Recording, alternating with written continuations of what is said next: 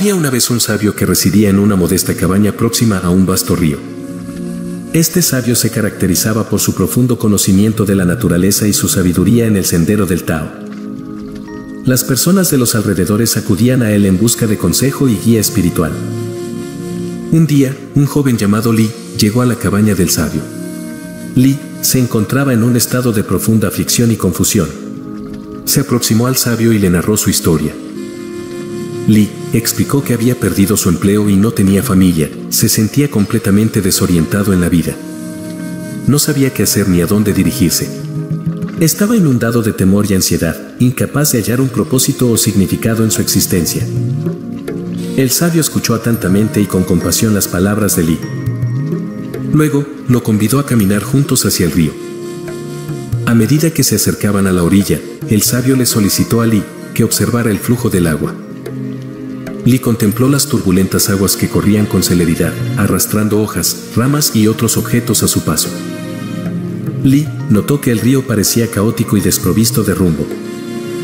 El sabio sonrió y le dijo a Li, mira más de cerca y observa con atención. Li se concentró y se percató de que, pese a la aparente turbulencia de la corriente, el río fluía constantemente en dirección al mar.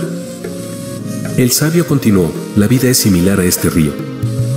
En ocasiones, puede parecer agitada y desordenada, pero sigue un flujo constante y posee un propósito subyacente.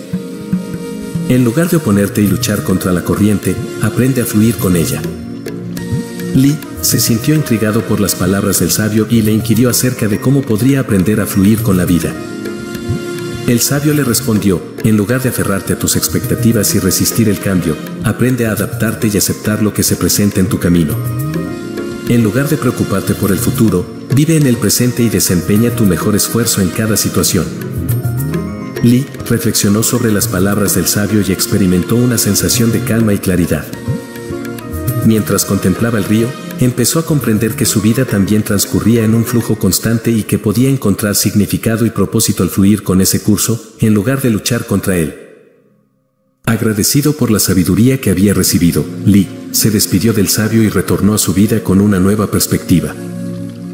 A medida que afrontaba los desafíos y cambios que la vida le presentaba, recordaba las enseñanzas del sabio y aprendía a fluir con el río de su propia existencia. Desde aquel día, Lee descubrió una nueva paz interior y una conexión más profunda con el fluir de la vida.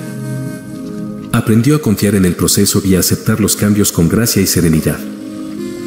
En su corazón, siempre guardó el recuerdo del sabio y del río, recordando la valiosa lección que le enseñaron, fluir con la vida es encontrar la verdadera sabiduría y la paz interior.